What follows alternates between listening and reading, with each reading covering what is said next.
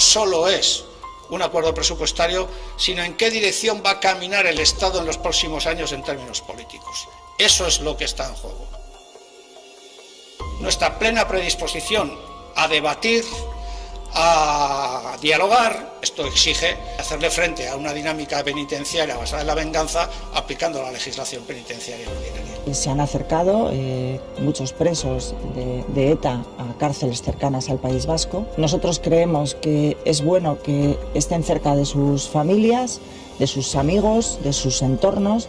Me quería referir eh, al caso de Igor eh, González eh, Sola, al preso de la banda ETA. Lamentar profundamente su muerte. Lo lamento. Eso es lo que está en juego. Bienvenidos una semana más al Mundo al Rojo, el programa que cuenta lo que otros callan. Amigos, y si ustedes nos están viendo en estos instantes, pues están en contacto con la resistencia. Esa resistencia que no se pone de rodillas ante la dictadura del marxismo cultural.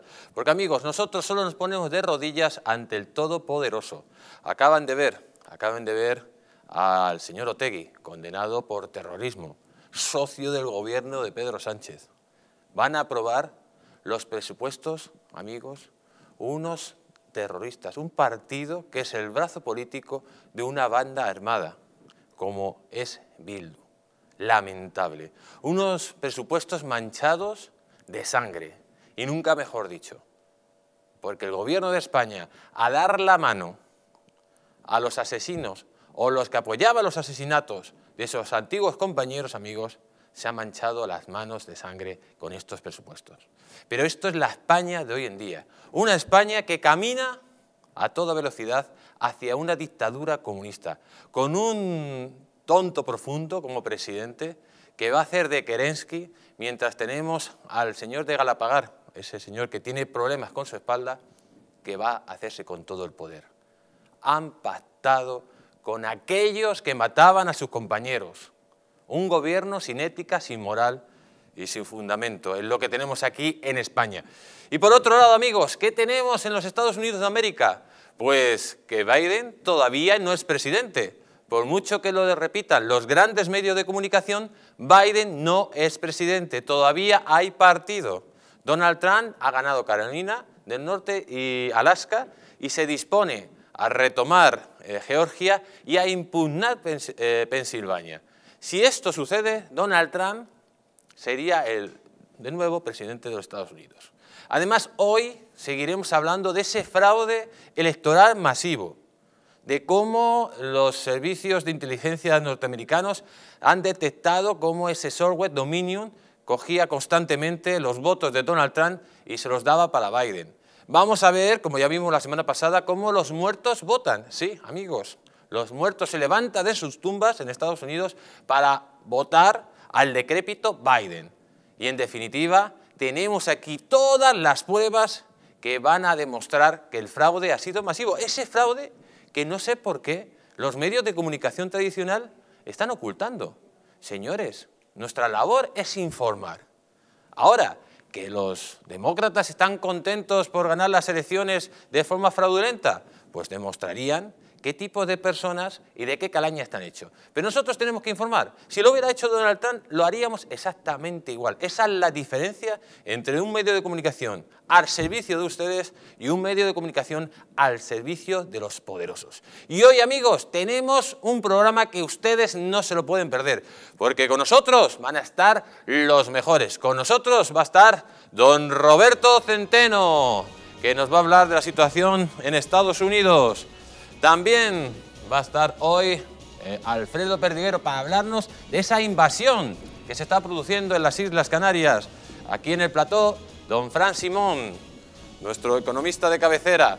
También nuestro analista político, Luis Pedrosa, estará aquí con todos nosotros. Y desde Nueva York, con las últimas noticias, Meibo Petit y nuestro biólogo de cabecera, don Fernando López Mirones. Un programón que no se lo pueden perder amigos, porque si se lo pierden van a estar siempre fuera de sitio, porque aquí en España, en el único lugar que damos la información de verdad, ¿saben cuál es? La Resistencia, Distrito Televisión, la televisión de la Resistencia.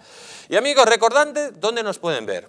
En la TDT de Madrid, en la frecuencia 48, en la 8 Mediterráneo, en Hermes TV en Galicia, en la 8 Zaragoza en Aragón, en el canal 10 de Tenerife en Canarias, en 12 TV en Sevilla y online en www.eldistrito.es o www.distritotv.es. En las redes sociales, en Twitter, arroba Mundo al Rojo o hashtag Mundo al Rojo. En Facebook, en Distrito TV y en YouTube, en Distrito Televisión. Darle las gracias a nuestra querida Mari Carmen, a nuestra guerrera Mari Carmen, que hace de moderadora en nuestro chat. Y darles las gracias a todos ustedes, amigos. Darles las gracias porque el Mundo al Rojo de nuevo de nuevo ha vuelto a ser tendencia en YouTube. Nada más y nada menos, uno de los cortes de nuestro programa ha sido el número 17 durante tres días en YouTube. Por eso le damos las gracias, porque ustedes, solo ustedes, están convirtiendo este programa político en tendencia a nivel nacional. Mil gracias, un millón de gracias amigos y como siempre, a vuestro servicio. Recordarles dónde nos pueden mandar todos sus WhatsApp al teléfono 669 7286 y 73. Y vamos a empezar. Vamos a empezar, amigos, porque tenemos que hablar de esos presupuestos manchados de sangre. De esos presupuestos donde los asesinados de la ETA, por la ETA, pues se tienen que estar retorciendo en sus tumbas. Donde este gobierno está pisoteando su memoria, está pisoteando sus tumbas unos presupuestos infames, infectos, aprobado por la chusma política que gobierna este país. Le han oído a Tegui. Él no solo está aprobando esos presupuestos y de esa forma trayendo a los asesinos a las cárceles cercanas de las Vascongadas, sino que está influenciando claramente en el gobierno de España y está influenciando, y lo dice claramente, para acabar con el régimen, con ese régimen que nos dimos todos, con ese régimen donde, amigos, hemos vivido 40 años en libertad y en democracia. Pero donde no hay mata, no hay patata. Y con Pedro Sánchez y con Iglesias no esperen ustedes sacar ningún pedazo de dignidad, ningún símbolo de moral, porque son personas amorales, que le dan lo mismo, cuatro que cuarenta. Y si para gobernar, y si para llevarnos a un sistema comunista, y si para destruir al régimen, tienen que pactar con aquellos que mataban a sus compañeros, ellos lo hacen. ¿Dónde está la dignidad? ¿Dónde está la justicia? ¿Y dónde está la libertad, señor Sánchez? Usted ni tiene dignidad, ni sabe lo que es la libertad ni tampoco tiene un concepto de justicia, porque ha aprobado unos presupuestos manchados de sangre, se lo digo así, porque se ha dado la mano con aquellos que apoyaban el terrorismo de ETA, por aquellos que no han condenado el terrorismo de ETA y por aquellos que aplaudían cuando mataban a sus compañeros. Y en esta situación estamos viviendo, una situación muy complicada para todos, Ahora se ha descubierto, amigos, que ya hay prácticamente 69.000 personas muertas por el COVID. España a la cabeza de muertos por el COVID por cada 100.000 habitantes. Esa es la gestión de este mequetrece. Esa es la gestión de este gobierno inútil, de un gobierno infecto que nos está llevando a la ruina y a la miseria. Y lo peor de todo, nos está llevando de una forma casi inmoral. Estamos viendo las últimas noticias que decían que ya había multitud de casos en enero de COVID. En enero ya había multitud de casos y ahora lo reconoce ella. Pero aquí, amigos, en este país, no hay nadie, no hay un medio de comunicación que sepa, sea capaz de contar estas cosas, de sacar los colores a este gobierno que nos lleva pues eso, a un pozo sin fondo. Ya se sabía desde enero que había multitud de infectados. Se callaron, no hicieron nada. Permitieron las manifestaciones del 8 de marzo. Permitieron que la gente fuera a los partidos de fútbol. Permitieron que nos contagiáramos. ¿Para qué queremos un gobierno que prefiere que nos contagiemos y que muramos de COVID para cumplir sus promesas electorales o su sectarismo político con ese feminismo rancio y casposo, en vez de preferir la salud de los españoles, ¿para qué queremos esto? ¿En qué nos beneficia? En absolutamente nada. Por eso, aquellos que siguen votando a esta izquierda rancia y casposa, habría que decirles, señores, tendrán que hacer ustedes a mejor un test para saber lo que votan. Porque desgraciadamente, si votan hambre, miseria y piojos, ustedes no están capacitados para depositar el voto ni para elegir a sus representantes. Porque amigos, aquí en España ha triunfado el gobierno de los demagogos, el gobierno que no sabe gobernar, pero sí sabe convencer por medio de la palabra, pero luego no sabe hacer absolutamente nada. Y cuando triunfa el gobierno de los demagogos, ¿sabe lo que le sucede a la democracia? Que desaparece. ¿Y sabe lo que está pasando aquí en España? Que la democracia está desapareciendo a marchas forzadas. Por eso, amigos, recuerden todo el mundo que no les engañen, porque la verdadera libertad consiste en estar bien informados.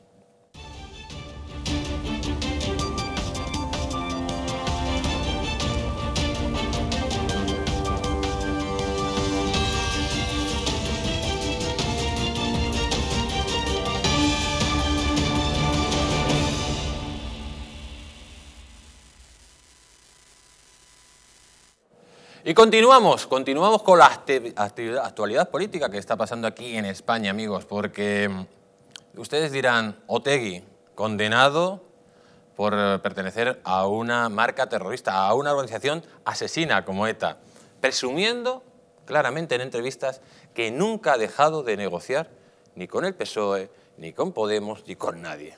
Incluso lo dice, incluso que siempre está hablando con ellos incluso cuando estaban matando a compañeros del Partido Socialista. Una infamia más. Vean ustedes la noticia que dice que Otegui presume de su apoyo a Sánchez. Llevo toda la vida hablando con el PSOE. El que fuera militante de la banda terrorista ETA, condenado por ello a años de cárcel, se ha vanagloriado de la buena relación que mantiene con el Ejecutivo de Sánchez a la hora de sacar adelante propuestas en el Congreso de los Diputados no es una cosa novedosa. Yo sé que a la gente le sorprende, pero nunca ha habido ruptura de las vías de diálogo con el PSOE, ni con Podemos, ni con el PNV, ni con nadie. Nosotros tenemos eh, para ello siempre vías de comunicación y por eso las hemos mantenido hasta ahora. Arnaldo Otegui también ha avanzado que la formación proetarra, EH Bildu, apoyará los presupuestos generales del Estado que tendrán que aprobarse a finales de este mes.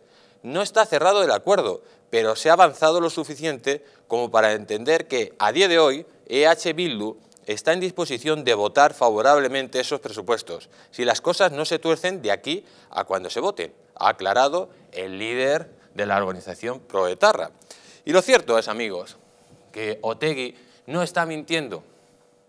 Los etarras no, o los proetarras, los que apoyan a la banda terrorista ETA, o los que han pertenecido, no están mintiendo. El pacto es claro y conciso. Decía Sánchez que no iba a pasar esas líneas rojas, pues las ha pasado. Y además, el señor Iglesias, pues presumiendo de eso. Y el señor Ábalos diciendo que esto ayuda a la democracia, que la ayuda de Otegui es la ayuda a la democracia. Fíjense ustedes cómo están blanqueando, por ejemplo, a esta, esta organización que apoya a esa banda de asesinos, mientras luego hacen ese ataque despiadado a un partido que respeta la ley, por ejemplo, como el partido de Santiago Bascal, que le ponen como el logro. Para que vean ustedes cómo los medios de comunicación desinforman, manipulan, y al final al poder llega el demagogo. Y cuando llega el demagogo y cuenta tantas mentiras y la gente se lo cree, pues pasa eso, que una banda terrorista o los amigos de una banda terrorista están gobernando con aquellos que anteriormente asesinaban y un partido que respeta la ley, la constitución y el régimen, pues está considerado casi como un partido monstruo, como un partido a perseguir. Vamos a seguir, vamos a seguir amigos, porque vamos a las elecciones de Estados Unidos. Unas elecciones que están dando mucho que hablar.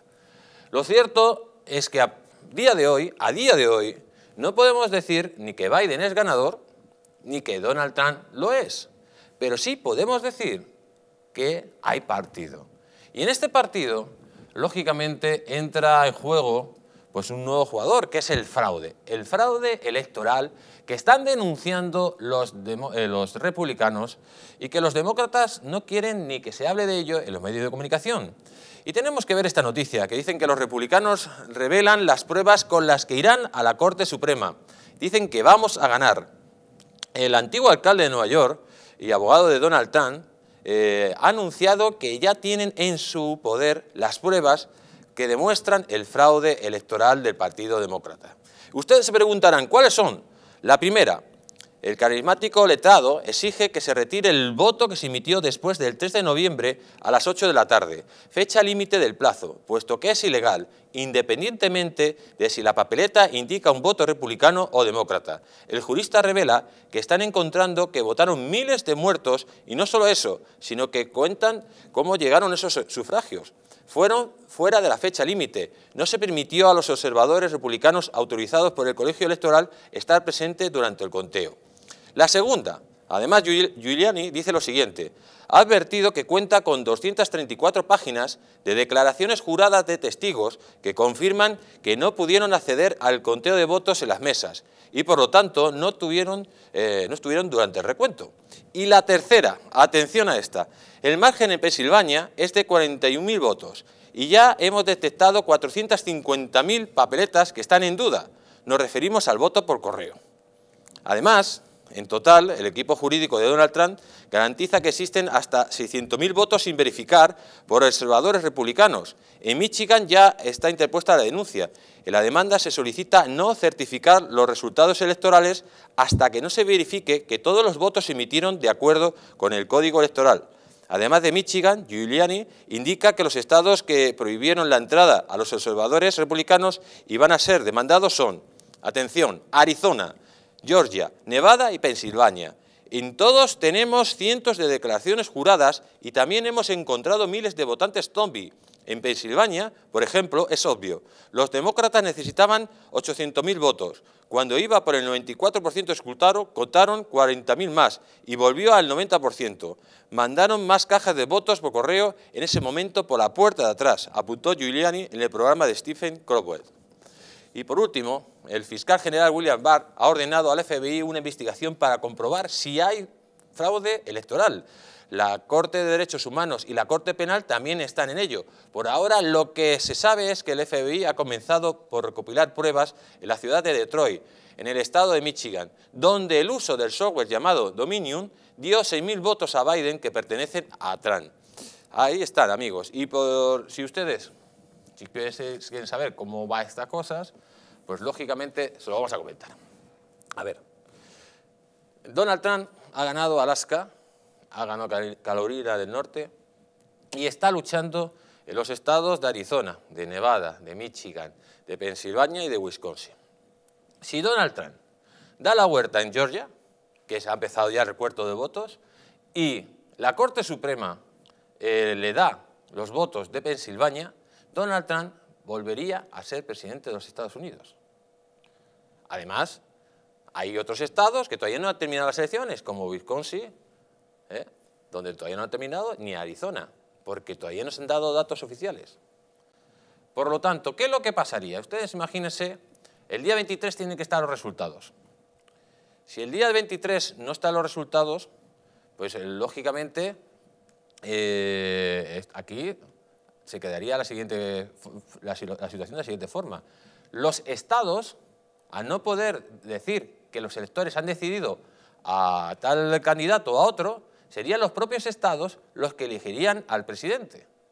Por lo tanto, los eh, republicanos han ganado más estados que los demócratas, y de hecho gobiernan en más estados que los demócratas. Serían los estados los que elegirían al presidente en el caso de que el 8 de diciembre no tuviéramos, digamos, un presidente electo, elegirían los estados. Y en ese caso, Donald Trump, con casi toda la seguridad, ganaría las elecciones.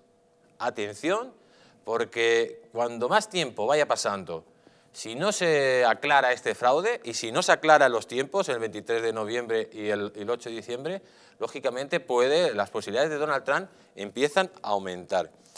Vamos a seguir y vamos a cambiar de territorio. Nos vamos aquí a territorio del jorobado de Galapagar, nada más y nada menos, amigos, y ese hombre que nos trae por la amargura. Pero en este caso no tenemos que hablar del jorobado, sino de ese señor que, bueno, que tiene que dar las gracias a todos los españoles por haberle pagado, por haberle salvado la vida. ¿Y saben ustedes cómo le da las gracias? Pues prácticamente insultando nuestra inteligencia. Estamos hablando de ese engendro político, siempre lo digo, engendro político por sus ideas políticas, del señor Echenique. Dice la UDEZ, identifica a Echenique como apoderado de una cuenta bancaria que transfirió fondos a la consultora Neurona. Ahí tiene esa noticia, dicen que la Unidad de Delincuencia Económica y Fiscal de la Policía Nacional ha identificado al portavoz de Podemos, Pablo Echenique, como uno de los apoderados de una cuenta bancaria desde la que se hizo una transferencia de 2.420 euros a la consultora chavista Neurona el 28 de enero de este año. En dicha cuenta también figuran como apoderados la diputada de la formación morada, Carolina Alonso, y el tesorero del partido, Daniel de Frutos. La UDED investiga ocho transferencias de Podemos por valor de 425.443 euros, efectuada a la consultora chavista Neurona. El partido de Pablo Iglesias está imputado por el titular del juzgado de instrucción número 42 de Madrid, Juan José Escalonilla, por delitos de financiación ilegal o delito electoral. La UDEZ identifica una primera cuenta en la caja de ingenieros cuyo titular es Coalition Elect, Unidas Podemos, y cuyos apoderados son Daniel de Frutos y el responsable financiero de Izquierda Unida, Carlos García Ramos, que declaró este viernes como imputado. Desde dicha cuenta se realizaron tres transferencias en Neurona, a Comunidad CSL, una de 100.000 euros el 9 de abril del 2019, otra de 100.000 euros el 23 de abril y otra de 163.000 euros el 9 de mayo de ese mismo año.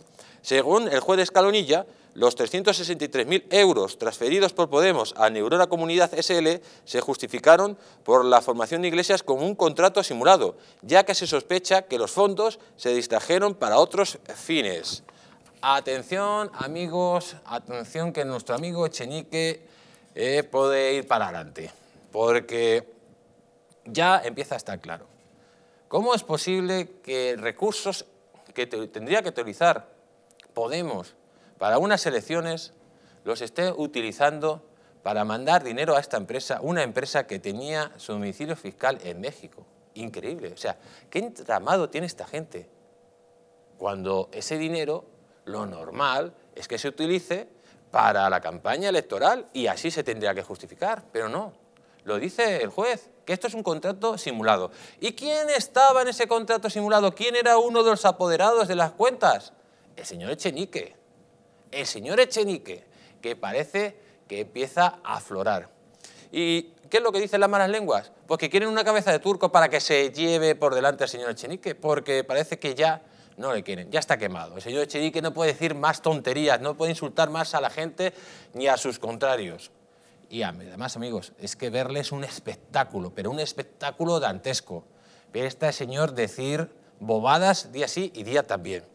Vamos a seguir, porque, atención a esta noticia, dicen que el Parlamento Europeo pide explicaciones a Pedro Sánchez por el caso del SIGEI. La Comisión de Peticiones del Parlamento Europeo, presidida por la eurodiputada española Dolores Montserrat, enviará una carta a la Comisión Europea para reclamarle que indague sobre la estancia de la vicepresidenta venezolana Delcy Rodríguez en el aeropuerto madrileño de Barajas el pasado 20 de enero, pese a estar sujeta a sanciones europeas. Enviaremos una carta a la Comisión Europea que, como guardiana de los tratados, es competente para asegurar, por tanto, el cumplimiento del derecho de la Unión, ha señalado la presidenta de ese comité parlamentario, Dolores Marserrat. Además, la Comisión de Peticiones solicitará información a la presidencia alemana del Consejo para que haga lo propio y el gobierno español sobre eh, que hable sobre las medidas que se tomaron para evitar la entrada en su territorio de personas sancionadas eh, en ese momento. Pese a estar incluida la lista de las 36 personas relacionadas con el gobierno venezolano de Nicolás Maduro y sujetas a restricciones como la prohibición de ingresar en territorio europeo o la congelación de activos, Rodríguez pasó por el aeropuerto madrileño de Barajas, donde se encontró con el mismísimo ministro español de Transporte, José Luis Ábalos. Aquel episodio generó una fuerte polémica política en España que llegó al pleno de la Eurocámara el pasado 11 de febrero, donde el alto representante para la política exterior de la Unión Europea, el socialista José Borret, dijo que la Comisión no puede iniciar un procedimiento de infracción contra España, pues los países son los encargados de aplicar y verificar las sanciones en sus jurisdicciones. Atención a esto, porque esto es importante, a pesar de que a los funcionarios que están metidos en el caso de Delcy Álvaros, eh, primera instancia, ha cogido el juez y ha dicho que va a sobreseer el caso. Es verdad que esto, el caso de Si Álvaro se tiene que mirar en el Tribunal Supremo, pero es importante, es importante que la Unión Europea en todo momento sea consciente de que se ha vulnerado pues, eh, sus tratados. Y se lo ha vulnerado porque el gobierno de España tiene algo más con el gobierno chavista. Ese gobierno chavista que le tiene en estos momentos cogido cogido al gobierno de España. No solo porque tiene a su títere metido dentro del gobierno, sino porque tiene amigos, porque tiene pues algún tratado con el Partido Socialista. Si no, vean ustedes por los, programas que hemos hecho del señor Zapatero, cómo está metido hasta las trancas en ese modelo chavista y además se ha convertido en el embajador de los chavistas. Por lo tanto, esto del Delsi Ábalos va más allá, va más allá. La señora Delsi vino aquí porque es la jefa y vino a dar órdenes. Además, entraron 40 maletas todavía sin cuantificar. Por lo tanto, amigos, todavía hay caso y es importante que Europa sepa que en España no se está controlando los tratados, se están vulnerando y además vulnerando por parte del gobierno de España. Vamos a seguir, amigos, vamos a seguir porque eh, hay que hablar, hay que hablar de ese Ministerio de la Verdad, ese Ministerio de la Verdad que es infame, como todo lo que hace este gobierno. Es increíble cómo salían los titiriteros en el 2015 con la ley Mordaza y empezaban a criticar al Partido Popular, que no nos dejan hablar, que nos van a cortar la libertad de expresión. Y ahora callados como perros, como perros. Porque al final, este tipo de gente es lo que son.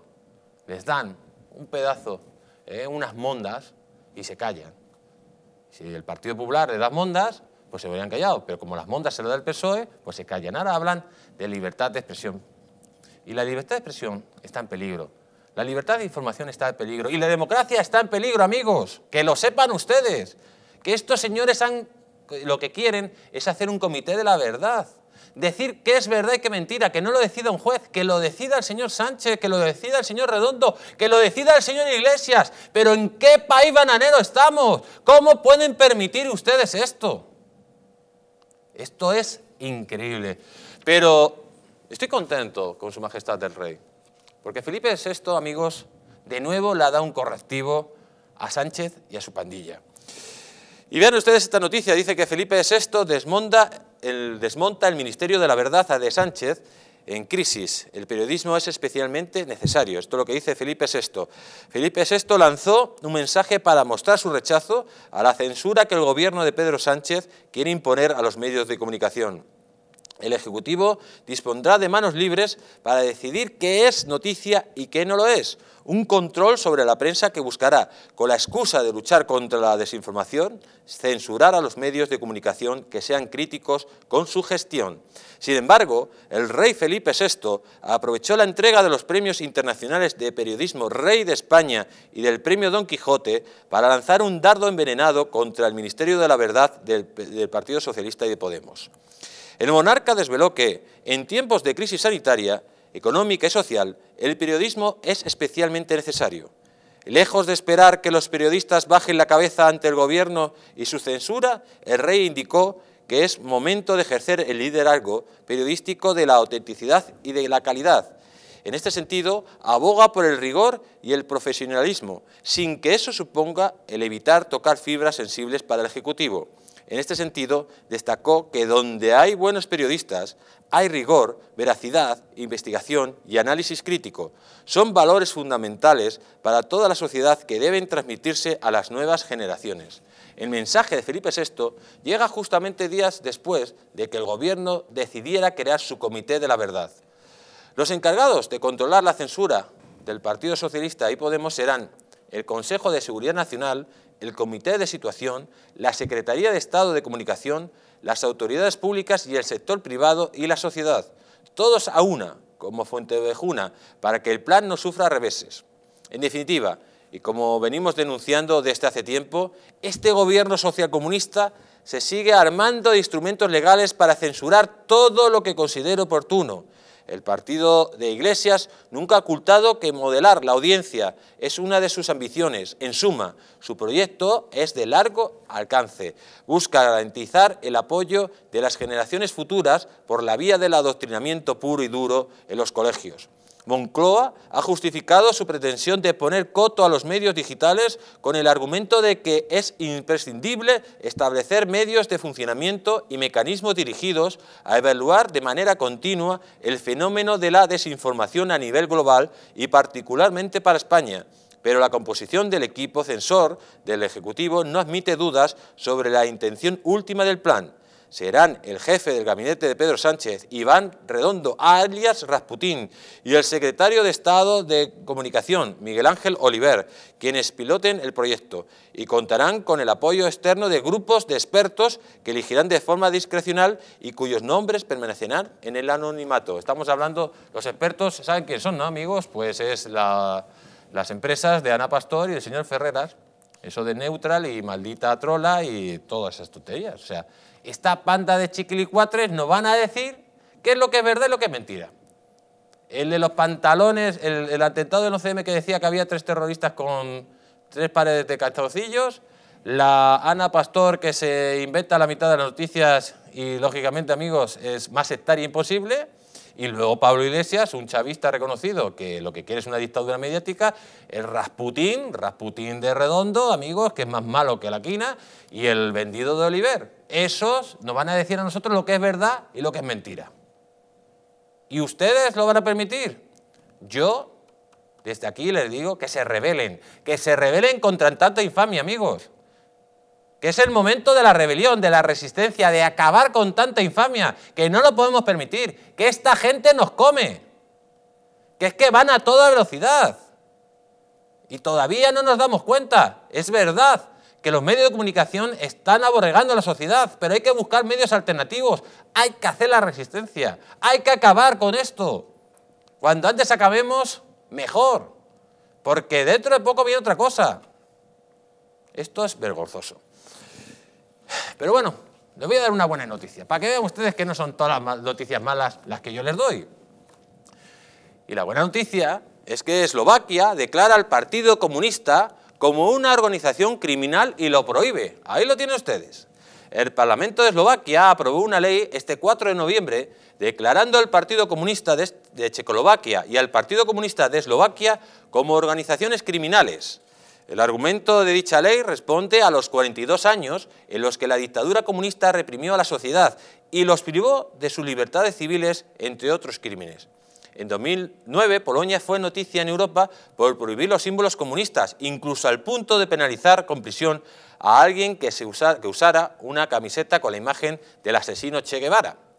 Además, según estadísticas, en Polonia, amigos, los comunistas mataron casi un millón de polacos. Más de 10 años después, Eslovaquia se suma a la lista de los seis países europeos que han aprobado leyes similares para eliminar todo rastro de la perversa ideología que casi arrasó con las culturas de los lugares donde dominó. Y amigos, es que es evidente, esta gente sabe lo que es el comunismo, lo han vivido en su sangre. En Polonia mataron un millón de polacos. En Checoslovaquia ya sabemos lo que hicieron cuando el pueblo gritó libertad. Fueron con los tanques y los aplastaron. En Hungría igual. Y entonces saben lo que es el comunismo. Y al comunismo no hay que darle ningún tipo de oxígeno. Y aquí no solo le hemos dado oxígeno, sino que lo hemos puesto en medio de comunicación, le hemos puesto en el poder. Y cuando el comunismo, amigos, coge el poder, como una garrapata sarnosa no lo suelta. Por lo tanto, ténganlo en cuenta que el comunismo no deja el poder por las buenas, ni de forma democrática, porque una vez que lo coge, crea una dictadura, y lo estamos viendo, lo hemos visto antes, el Ministerio de la Verdad. Y si encima hay un bobo solemne que les acompaña, como el que habita en la Moncloa, pues todo perfecto. Vamos a seguir, amigos, y vamos a seguir porque lo que está pasando en las Islas Canarias es terrible, es una vergüenza. Nos están invadiendo de forma silenciosa. Y la verdad que la culpa no la tienen la gente que llega. No, no la tiene la culpa. Si yo estuviera en su misma situación, haría exactamente lo mismo.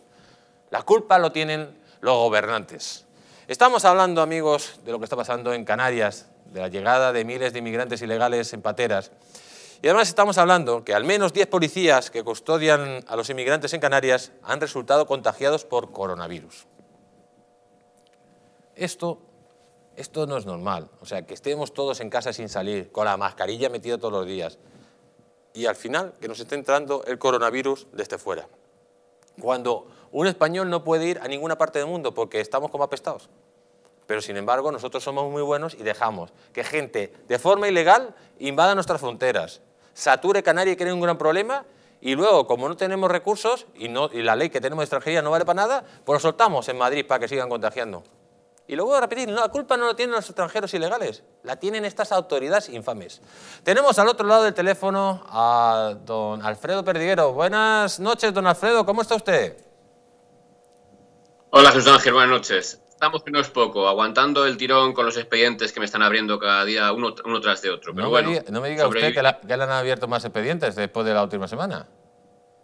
Sí, señor, sí, ya se los enseñaré el, último, el próximo día, Jesús Ángel. Bueno. Eh, esto ya es de tracamos. Ya, la, la, desde que el, el, el, individuo este dijo lo que dijo en el Congreso, ya me han puesto el objetivo, ya digo, y que y encima demostrando la ilegalidad de los, de los tribunales, de los, de la, vamos, de los eh, de las instrucciones de régimen disciplinario. Pero bueno, ya digo que eso es algo que ya tengo asumido y que por desgracia eh, pelearé en los tribunales, que es donde hay que pelear, porque desde luego, vía interna, desde luego se ha demostrado que no hay democracia. De hecho, fíjate que uno que tenía 30, te, enseñé el otro día que me habían propuesto 30 días, eh, ahora la, han cambiado y me han propuesto 60. fíjate, o sea, la ilegalidad extrema de una vez que hacen propuesta de resolución de 30 días, en una semana después de hacer alegaciones me proponen 60 días. Por eso digo que eso es, esto es lo que tengo. Ya te digo, te enseñaré tranquilamente todo y ya verás tú que cómo te sonrojas. Te sorprendes como cualquier persona normal, con un poquito de, de sentido común y de derecho, que sepa lo que hay. Pues te voy a dar una buena noticia, aunque sé lógicamente que estás un poco abrumado por las circunstancias, decirte que muchísimos telespectadores llamaron la semana pasada dándote tu apoyo y que están contigo y que sepas que la resistencia está contigo y que vamos a luchar hasta el último instante, porque la verdad y porque un policía digno, honrado como tú, pues no sea castigado por decir lo que piensa.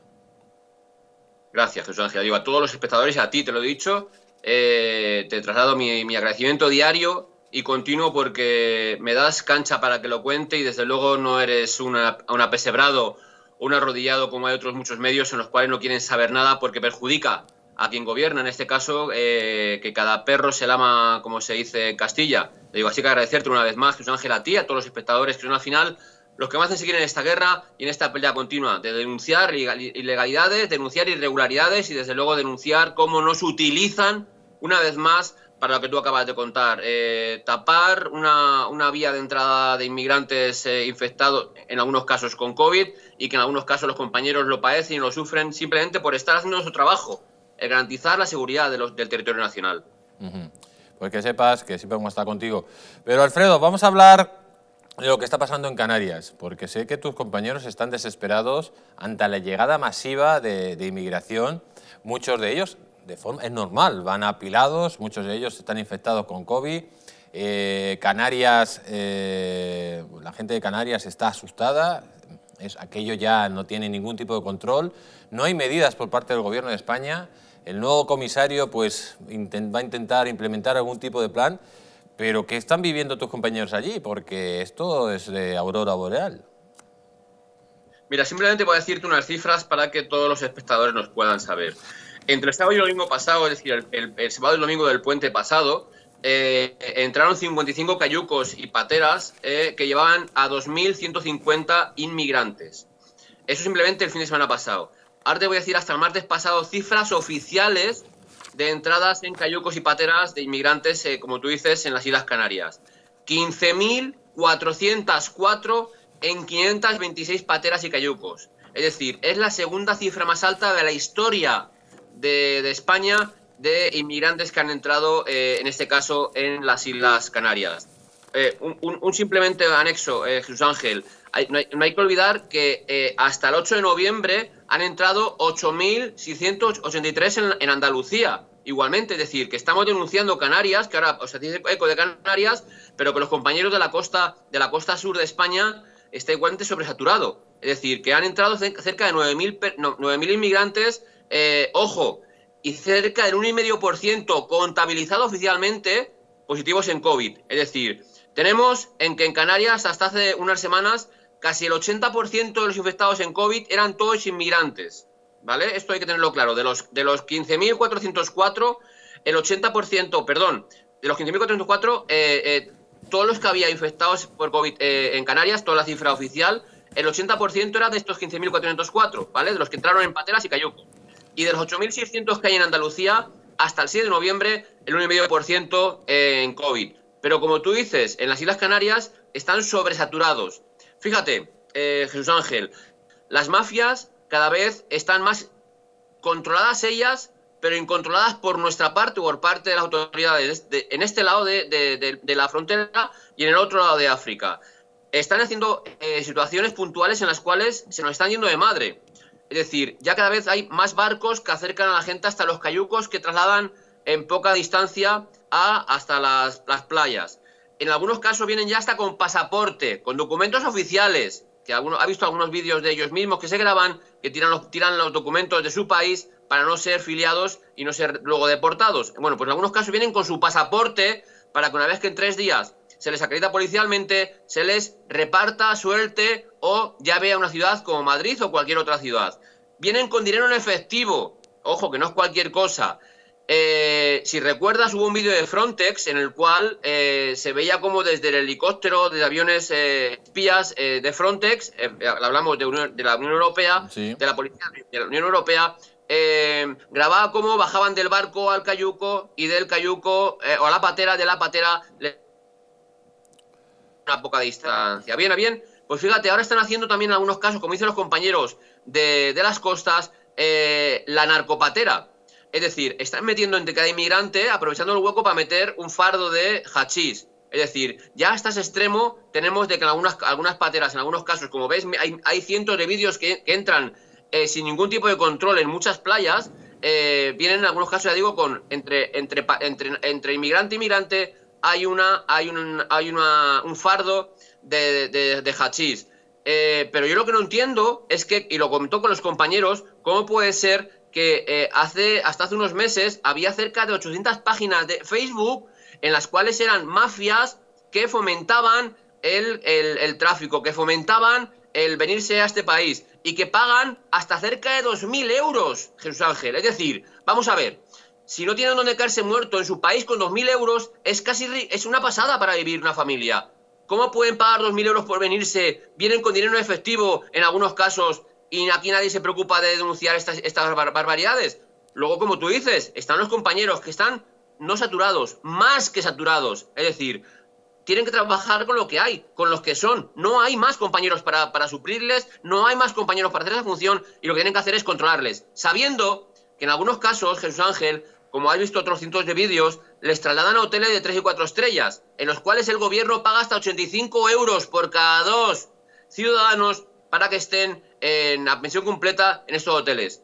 Yo no he estado este año de vacaciones por el tema del COVID, pues he estado trabajando uniformado en la comisaría. Mi familia no ha podido irse a una playa o a un hotel para estar de vacaciones. Sin embargo, esta gente, que ojo, como tú has dicho, pueden merecerse lo que sea, pueden querer eh, ir a un mundo mejor, o lo que ellos piensen o pensemos todos, yo no estoy diciendo nada contra, evidentemente, por contra el racismo ni contra la xenofobia, pero estoy diciendo que evidentemente pagamos todos los españoles 85 euros para que esté en un hotel de 3 y 4 estrellas, que evidentemente eh, es una forma también de eh, empujar a los hosteleros de, las islas para que tengan trabajo, porque ya digo que al no, haber, al no haber extranjeros no han tenido nadie. Pero de luego a mí lo que implica, lo que me indigna o lo que más me preocupa, aparte de todo esto que te acabo de decir, que es muy preocupante como para cualquier ciudadano, es que como tú has dicho, haya que se sepa 10 compañeros que hayan dado positivo por COVID-19. Hablamos de un, virus en los cuales se muere gente y hablamos de un virus en los cual compañeros están cayendo, ojo, con medidas de seguridad básicas, no hay EPIs, por tanto tenemos que ir con la mascarilla y en algunos casos los guantes o sin guantes para controlar decimos a estos 15.404 inmigrantes que han llegado a las costas. Por tanto, ya digo que una vez más agradecerte que te preocupes de este hecho, trasladar a los ciudadanos, a los espectadores, que estamos a pecho descubierto una vez más ante, ante este, este problemón y desde luego me indigna que ninguna televisión normal se, se, haga eco de esta noticia. Al igual que estuvieron con el Aquarius, todos los medios de comunicación fotografiándose con el señor Pedro Sánchez porque llegaba, una, llegaba un barco lleno de inmigrantes, en este caso estos inmigrantes no tienen, no tienen ningún derecho, no quieren saber nada nadie de ellos, nadie los denuncia, nadie dice nada y no hablamos nada de ello. Le digo, por tanto, digo una vez más, eh, decir que los policías y guardias civiles estamos haciendo una labor ingente con los medios que tenemos, que son los básicos, le digo, mascarillas quirúrgicas que nos da la dirección cuando nos las da y las tenemos, y que sin embargo digo que estamos contagiándonos nosotros. Y ojo, cuando esta gente se escapa de los hoteles por ser positivos, cuando esta gente se, escapa de los, de los eh, centros eh, ilegales que se montan para poder alojarles, como en la playa, eh, en, la, en, la, en, el puerto de, de, Las Palmas, en las cuales había 2.000, 2.100 hasta ahora, cuando una capacidad para 200 o 300, sale el ministro de Interior, como ayer, anteayer dijo, en el cual se iba a hacer en él, eh, te lo voy a decir, en el, en el polvorín Barranco Seco, se iba a hacer una instalación para alojar a esta gente. ¡Ojo! Es una, una instalación para 200 plazas.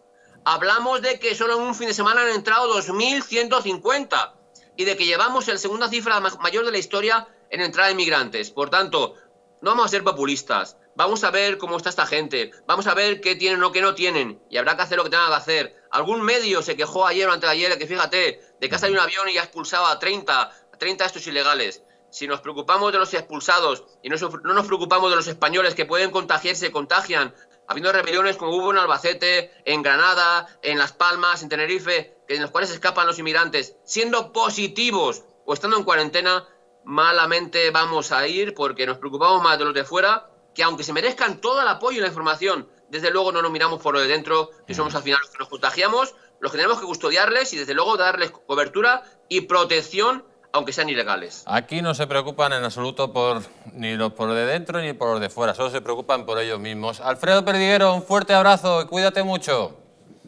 De vuelta, muchas gracias Jesús Ángel, un abrazo, buenas noches y una vez más gracias. Nada, un auténtico honor. Eh, amigos, y nos vamos a ir urgentemente a publicidad porque ya está esperando aquí don Fran Simón, don Pedro Luis Pedrosa y le recordamos que vamos a hacer un especial de fraude de las elecciones norteamericanas. Con este eslogan, si ustedes quieren saber cuál es nuestro titular, Donald Trump empieza la remontada. Y tenemos las pruebas del fraude y cómo puede ganar Donald Trump. No se lo pierdan, volvemos muy rápido.